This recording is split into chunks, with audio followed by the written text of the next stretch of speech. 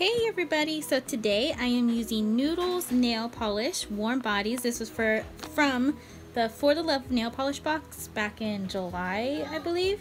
And this is clear jelly stamper. I'm using the pastel stamping polishes and one of the plates and of course the big bling. Starting off with white nail polish. This is number two. Jenny's gonna love it. I have a discount code down below along with the link where to find these products.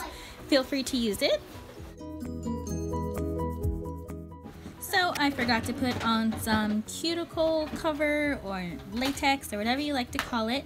Um, it's really cool though because sometimes nail polish or stamping polish can just come off with some scotch tape. So that's really awesome. And I'm just showing the polishes that I'm using. I will have the names down below. And I'm just doing some flower images and then doing layers.